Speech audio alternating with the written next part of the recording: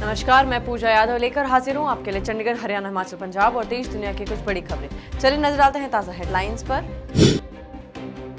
Sushant case drugs case में लगातार तीन दिन पूछताछ के बाद एनसीपी ने रिया को किया गिरफ़्तार। मेडिकल चेकअप के बाद कोर्ट में होंगी पेशी।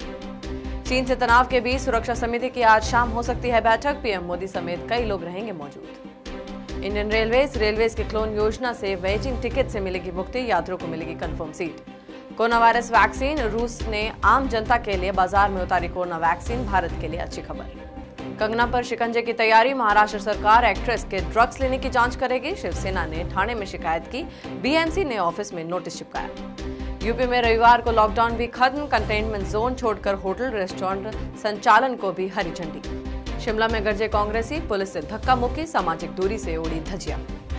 चंबा में अब 15 से 20 मिनट में मिलेगी कोरोना की रिपोर्ट। बिलासपुर में दो पुलिसकर्मी सहित पाँच कोरोना संक्रमित।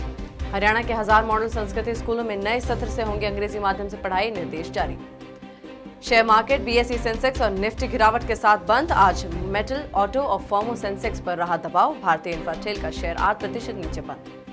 अब तक के लिए इतना ही, फिर लौटेंगे आपके लिए देश प्रदेश की कुछ बड़ी, ताज़ा खबरें लेकर, तब तक के लिए देखते रहिए अर्थ प्रकाश टीवी। अर्थ प्रकाश टीवी को सब्सक्राइब करें, बेल आइकन का बटन दबाएँ और देखें ताज़ा अपडेट्स और कमेंट बॉक्स में अपने मूल्यवान सुझाव।